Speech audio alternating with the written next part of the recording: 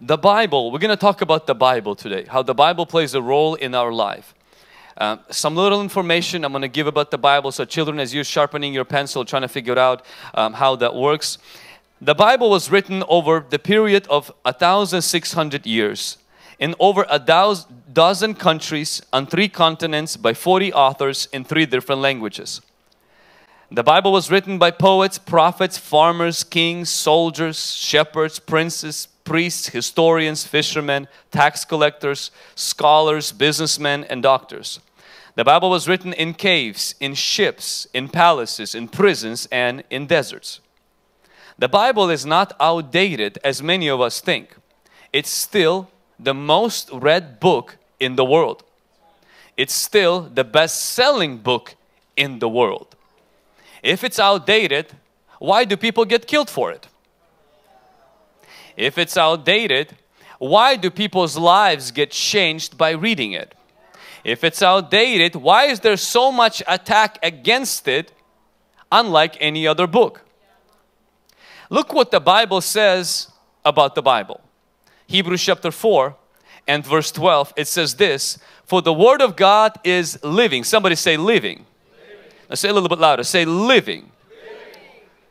No other book is living. I want you to see what else it says. And powerful. Say this with me. Powerful. No other book has power inside or life inside. I have a book. It's not living. Now it can impact your life, but it has no life inside. I have a book. It's impactful, but it has no power inside. The Bible is the only book in the world that has life inside and has power inside. If you're looking for power, if you're looking to crystals, if you're looking to witchcraft, if you're looking to Ouija boards, you're trying to find power, it's a counterfeit power. It's a dirty power. It's a bad power. There is only one clean, holy power that builds your life and God says, my book contains it. Not only God's word contains power, but God's word contains life. Some of us are not looking for power, we just are looking for life and God's Word has both. I want you to see another thing that the Bible says about the Bible. 2 Timothy chapter 3 verse 16. For all scripture is given by inspiration of God. Now one translation says, and more accurate word for inspiration, because some of us when we read inspiration we're like, oh yeah, the Bible is like really inspiring book. No, no, no. Uh, a lot of books are inspiring books. This is different. When it says inspired by God, this is what it means. When God breathed, so all scripture is God breathed. God breathed into this book. Now, for some of you, maybe like, okay, so remember when it happened for the first time. God made a man out of the out of the dirt. He was just a corpse and God and man became a living soul. Anything God breathes into carries life, creativity. Look at you today. You are conscious being. You're, you're a person that can make things. This book has the same effect. It has the breath of God inside of it. Which means when you read it, you're inhaling what God exhaled. For those of you potheads, switch whatever you're inhaling. That stuff is not good for you. Begin to read the scriptures. This stuff, yeah, it won't make you lightheaded. No, it won't make you relax, but it will make you a rest. It'll give you freedom. It'll give you peace and it will give you joy because God's breath is inside of God's book. Amen. Here are a few thoughts that other people smarter than me who have said about the Bible. Don't say, get ready to say amen. Don't say that, the, that God is silent when your Bible is closed. Complaining about a silent God with a closed Bible is like complaining that no text messages are coming through with your phone turned off. When in doubt, pull your Bible out. Touch your neighbor, say he was speaking to you. Mark Batterson said, when you open your Bible, God opens his mouth. You want to hear God? Get near his word. D.L. Moody said, the Bible will keep you from sin and the sin will keep you from the Bible. Billy Graham said, if you are ignorant of God's word, you will always be ignorant of God's will.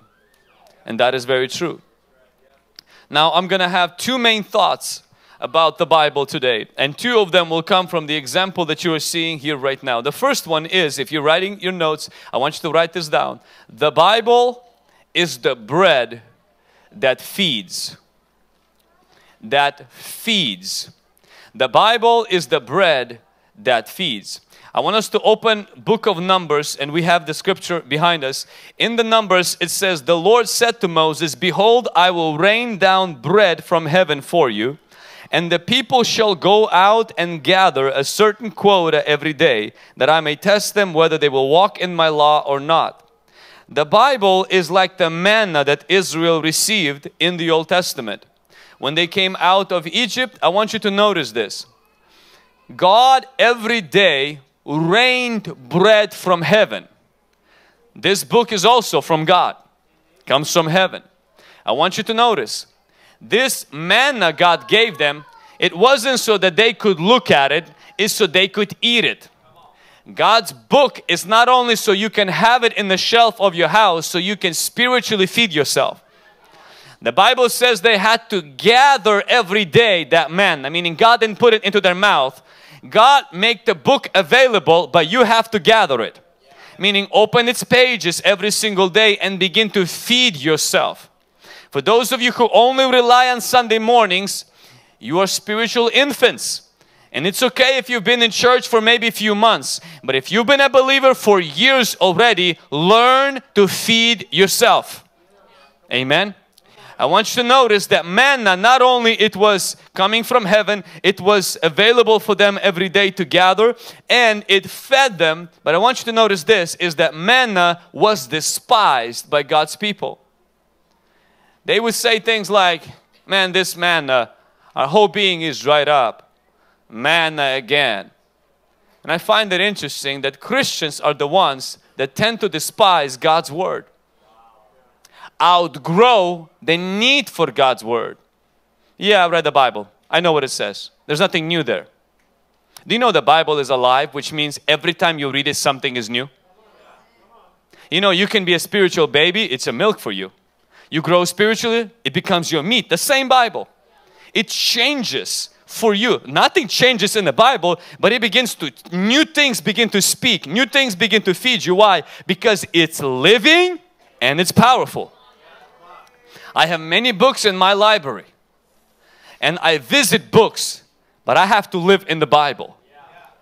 No other book comes close to what this means for a Christian.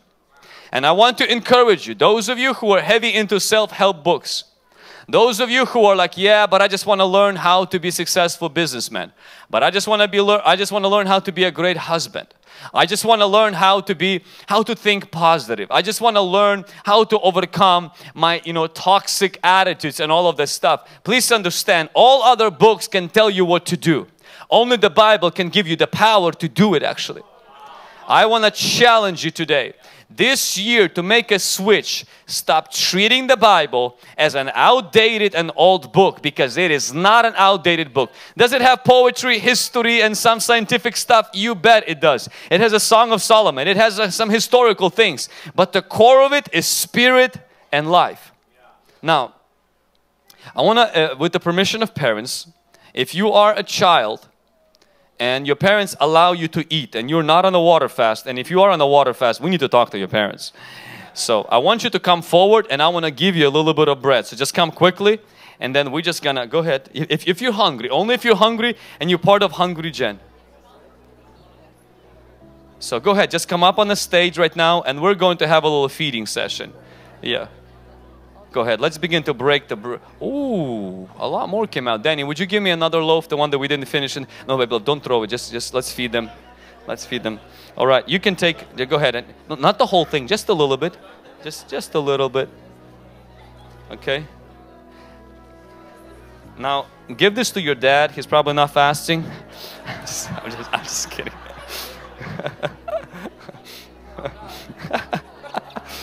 I'm just kidding. Go ahead. Uh huh. Leave as many crumbs as you can. We have a lady that's gonna clean it. I'm just kidding. Amen. All right. I, I think I've seen more kids coming out for bread than for prayer. go ahead. Go ahead. I'll give you a big piece. Man, I'm so tempted to eat right now. okay, we can put the rest of it on the on the uh, in, right here. yeah. All right. Everybody got fed. Now let's believe that it will multiply. Amen. So, bread feeds us. This is what we must understand is that spiritually, the Word of God feeds our spirit. When you are not a Christian, you don't understand that. The reason why is because your spirit is dead to God, which means your spirit doesn't need to be nourished, fed, it's dead. We don't feed dead people. Only living people have hunger. Dead people don't have any hunger. So if you're in that place where this idea, as I start, start talking about the Word of God and everything, you're like, man, I just, that's just not my thing. I would question if you are spiritually living. Or maybe you've neglected your spirit so much that your spirit is struggling and hurting and it's malnour- mal- mal- malnourished. Part of our prayer and fasting, as we're praying and fasting, what's very important for our local church to grasp today is to begin to be in God's Word. Now, you may say, it's like, yeah, we understand that. This is the problem. Majority of Christians do not have a biblical worldview. That's why they support abortions. That's why they think like the world. They talk like a Christian, but they think like the world. Why? Because only this changes how you think. If you're not in God's Word, but you're only in a local church, you will think like the world and the difference between you and somebody who's not a Christian, there will be no difference. Because we need to change the way we think and we need to embrace a worldview of the God of the Bible instead of of CNN, Fox or NBC. Amen. The second thing I want to highlight about the Bible is not only the Bible is the bread that feeds, write this down in your notes. The Bible is the seed that produces fruit. Now, you don't eat seeds. Mostly we shouldn't. We plant them. You don't plant bread in the backyard hoping to get a tree. Nor do you eat these you plant these seeds in the soil with one purpose. Not because you're getting rid of them, not because it fertilizes the ground, because it has one goal to produce something bigger than itself. The Word of God is not only to sustain you, but it's also to make you successful. In fact, Jesus in Matthew 13, I want you to see what he said. But others' seeds fell on the good ground. Any good ground we have in the church today? Others fell on the good ground and yielded a crop. Seeds did not yield seeds. The Bible is not given to make you religious, but to make you fruitful effective, successful. They yielded crop 30, 60, and 100. In fact, Jesus has a problem with the soil that causes the word not to produce success. See, the Bible is not only to keep you spiritually fed, it's also to keep you practically fruitful. Meaning, your mind is fruitful, there is peace. your relationships are fruitful, you're not like soap opera. Your life actually has peace in your relationships. Your finances are fruitful that not only you're on a budget, but you're seeing the favor of God in your finances. Your eyes are fruitful. You're not scanning women in the gym, but your eyes are fixed on your own muscles. Your heart is fruitful. It's not full of anxiety and depression. Your word I've hidden in my heart that I will not sin against you, David said. That means there is success in God's word. This book of the law shall not depart from your mouth, but you shall meditate in it day and night, that you will make your way successful and you will have great success. Joshua 1 8. God's book wasn't given to Joshua to make him religious, it was given to make him effective. You may say, but it's outdated. Really? Husbands love your wife, is that outdated? and the peace of the Lord shall that surpasses your understanding is that is that outdated? You shall know the truth and the truth will set you free. Is that outdated? Meek shall inherit the earth. Is that outdated? Book of Proverbs is that outdated? Of course not. It's not outdated. It has a seed power. Seeds have a potential of making forests that means that God's word has the potential of turning your life upside down and make you from a failure to a success. Now, of course, success I don't mean some of the Instagram pages that we follow where it talks about Rolls Royce, Bentley and a jet. Because you can have a Rolls Royce, Bentley and a jet and have a really beautiful Instagram and have a very ugly life. Have a very ugly, ugly attitude. You can't put relationships together. Your thoughts are like crazy. There's World War III going on in your own family, but Instagram looks good. A lot of us are way better than our Instagram than in our real life. God's word is not sent to make you look good on Instagram. It's sent to make you be great in life. The devil hates us being successful. He hates Christians from being successful. So what he does the Bible says when the sower went out to sow, what did the bird do? And Jesus right away told us who the bird is so we don't get it confused. He said the bird is the devil. He said the bird came and snatched the seed. Because the devil knows once the word takes root, somebody say root. Once it takes root in you, it will produce fruit through you. He can stop that. God's word cannot be stopped. Nobody can stop it. So guess what he can do? He can stop it from getting inside of you. Because once it's inside, it will bear fruit. As long as he can stop it from getting inside, he becomes successful. I can go on the limp right now and say, if you're not reading the Bible, the devil is already in your business. You already fell for a trap. Now, whatever excuse he used with you might be different than the one he uses with me. I didn't have time, kind of too busy, it's boring, I don't get anything out of it, it's outdated, it has a lot of errors, way less than your life.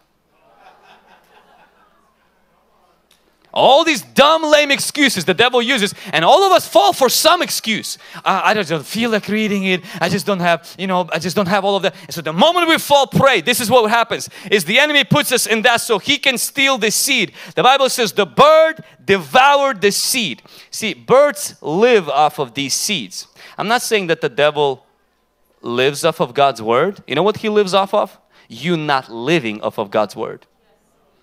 We empower the enemy when we don't feed ourselves. When you don't feed your soul, you empower evil spirits.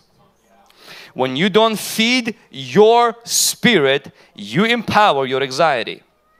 You empower your fear. You empower lust. You empower depression. The moment the bird is fed, because I'm not fed, the bird gets stronger, I am starving, and then I get defeated. So I want to challenge you today. Don't feed the bird, feed yourself.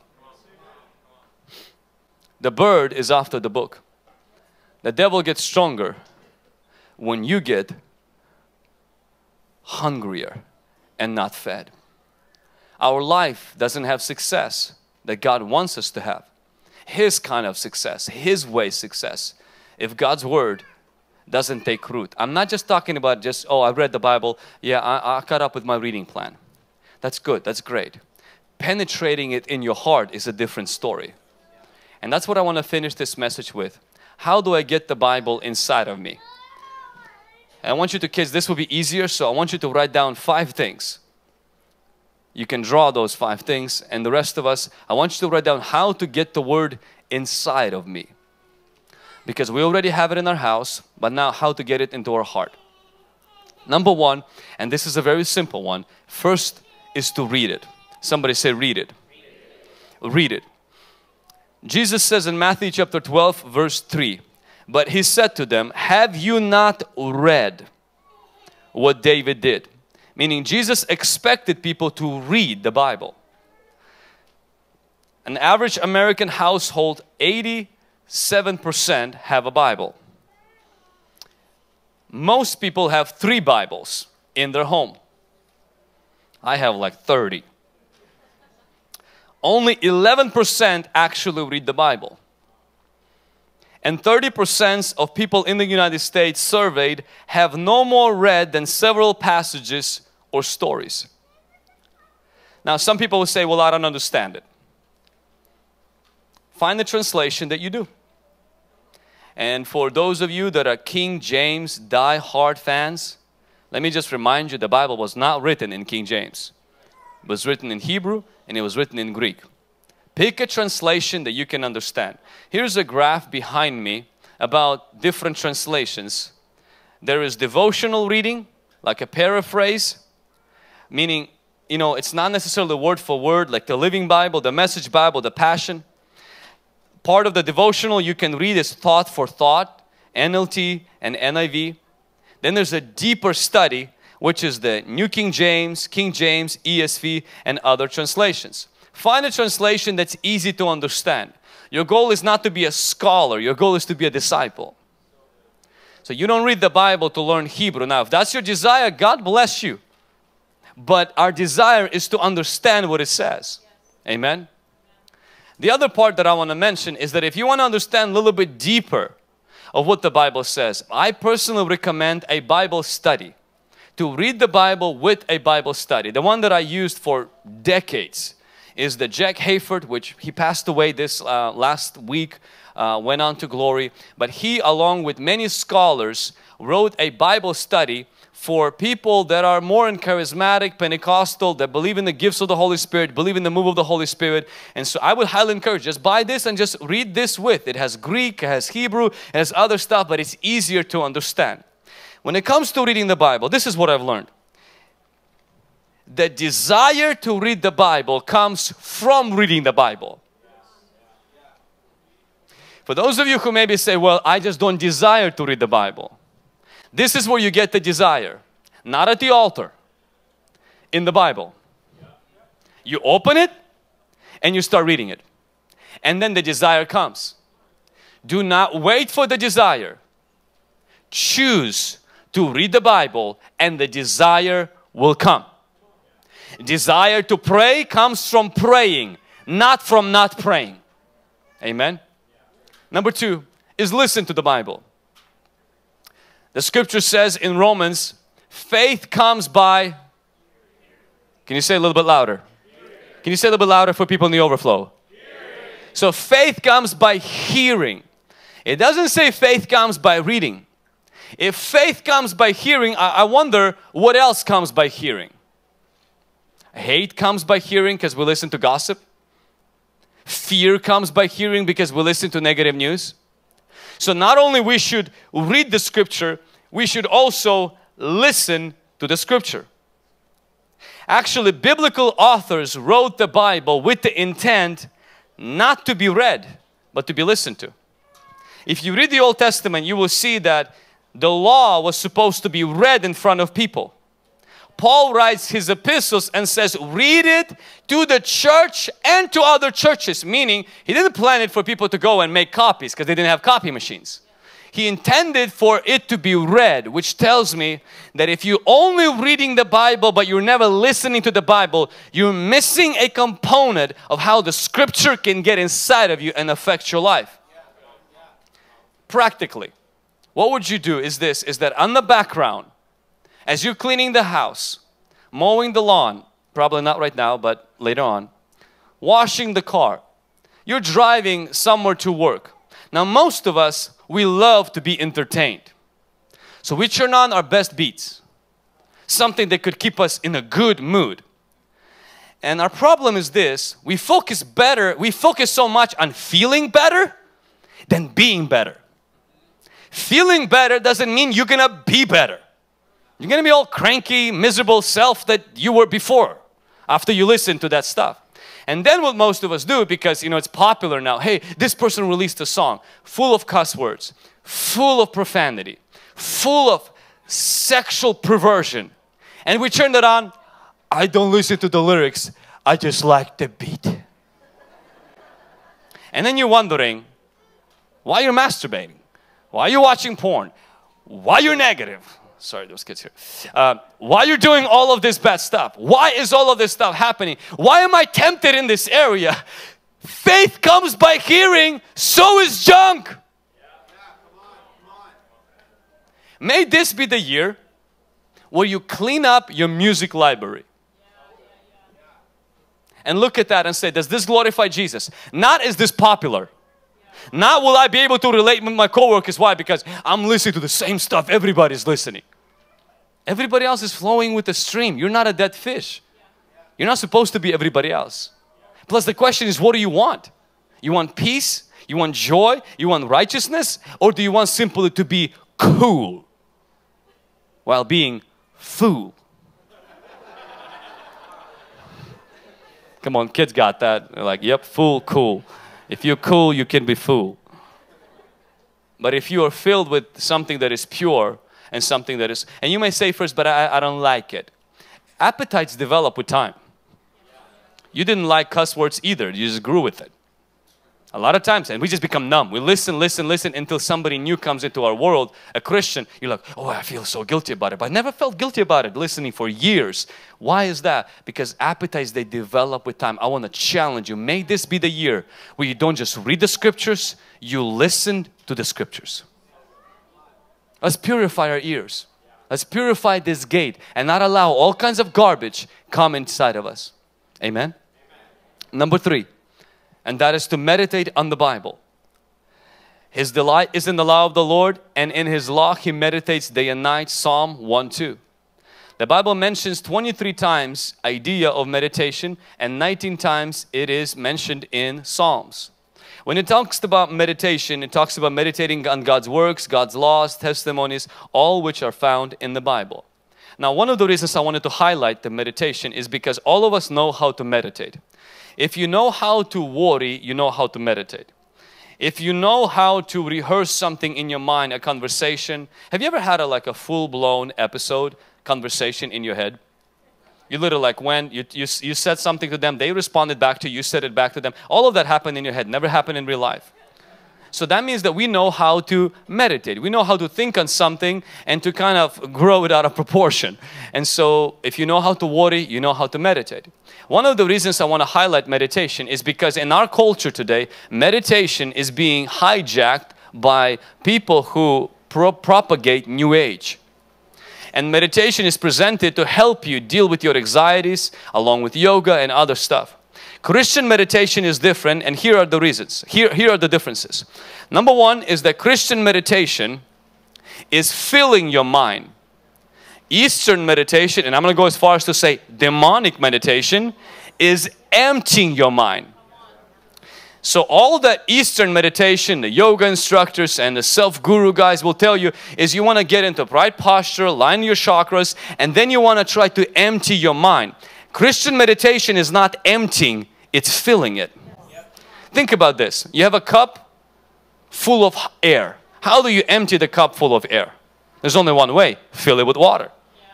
There's only one way to remove that anxiety, remove that negativity, is to fill it with something else, not to empty it of that. The second difference between Eastern meditation and biblical meditation is that Eastern meditation is very passive. It's all about calming yourself and just trying to honestly be like dead person. You're just really trying to calm yourself. The biblical meditation is not passive, it's aggressive. It's a spiritual warfare. It's taking thoughts captive. You, you're going into war. Biblical meditation is war. It's not a vacation. Another difference is that biblical meditation opens the door to the Holy Spirit. Eastern meditation exposes you to demons. Because as your mind is vulnerable and empty, and you start practicing all this stuff, you can get a demon along with emptying your mind. Christian meditation is you get peace and you get God's joy. Eastern meditation is about detachment. I'm trying to disconnect myself from this world, I'm trying to disconnect myself from my family. Everybody's driving me crazy. I'm just trying to be disconnected. Christian meditation is about attachment. I'm trying to attach myself to God's word. I'm trying to attach myself to God's spirit. I'm trying to attach myself to God's precepts and God's laws and God's commandments. And it's a world of difference. Amen. Number four, and that is to memorize verses in the Bible. So not only we have to read it, not only we have to listen to it, but we can meditate on it and memorize it. Jesus answered and said to them, You are mistaken, not knowing the scriptures.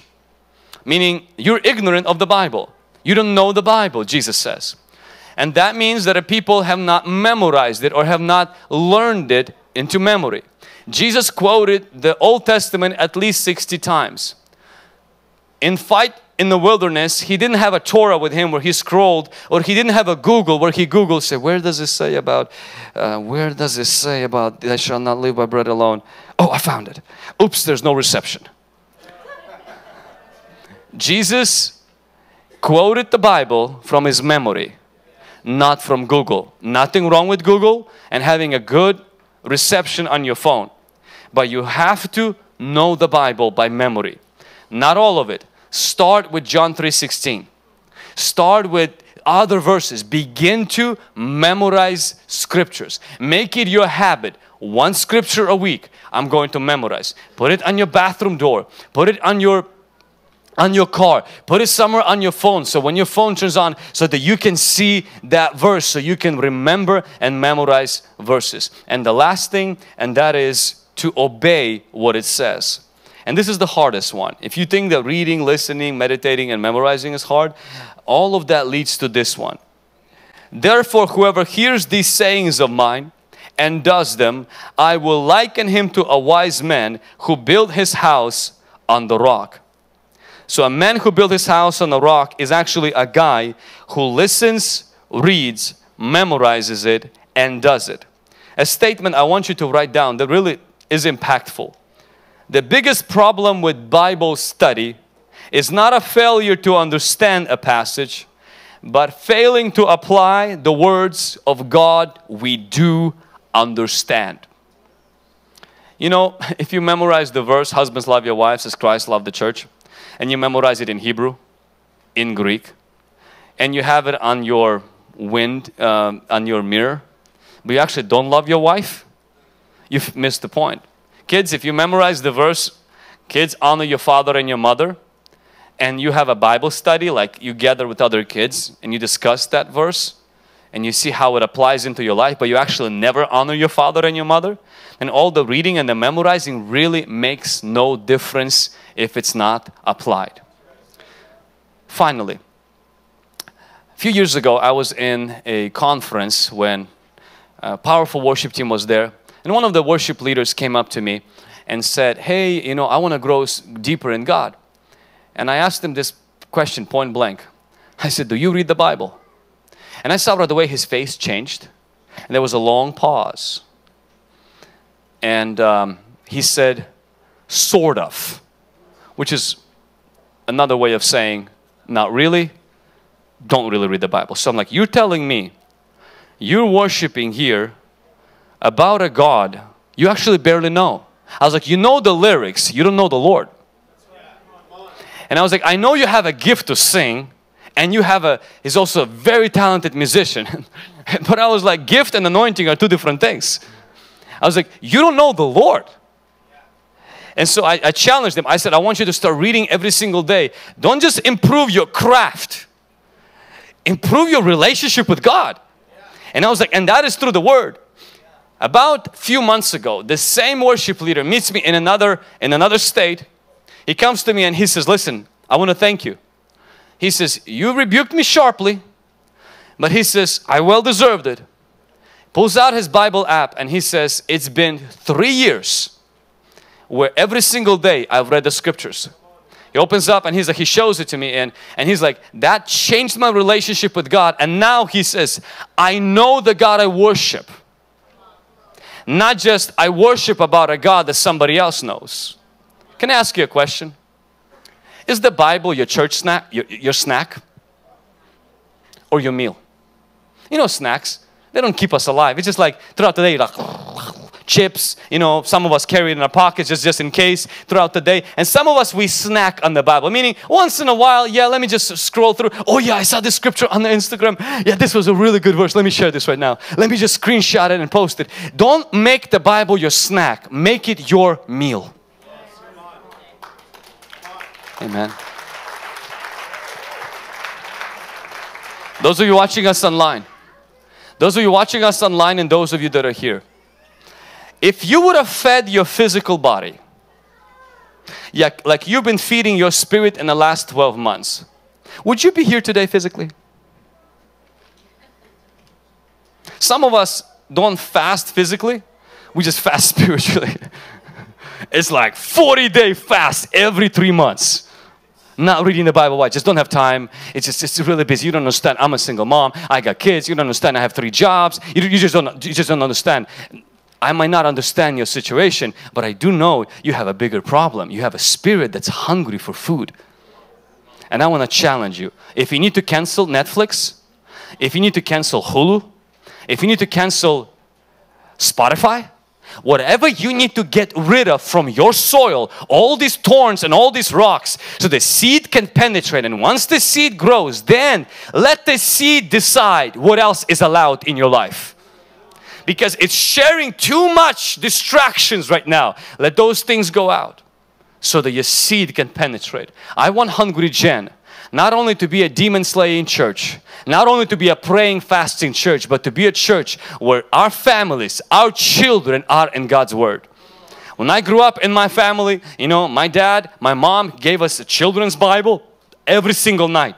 Before we went to bed, we all had to read the Bible. We all had to study the Bible in our own way. And then we had to finish it with praying. And that instilled this thing where as a Christian, you are in God's Word every single day as a child.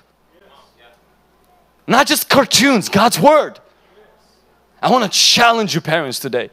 The world is after your kids. The world wants to indoctrinate and brainwash your kids from a tender young age. Don't think that they're not deserving God's word because God's word is for them. Did you have you noticed who ate the bread? The kids. They can also eat the word. Just don't give them King James version. Something simple. Amen. Hey, thanks for watching this video. If you enjoyed this content and this was a blessing to you, would you help us and hit thumbs up so that it could help more people to discover this video. It costs you nothing, but it can go a long way to help with the algorithm. As well as if you're not subscribed to our channel, hit subscribe, click on the bell so that you can be reminded each time that we upload videos. Thank you so much for being a part of this community. If you're interested in learning more about Hungry Gen, our internship, our conferences, deliverance, and so many other things, go to hungrygen.com for more information. And as always, remember, better is not good enough, the best is yet to come.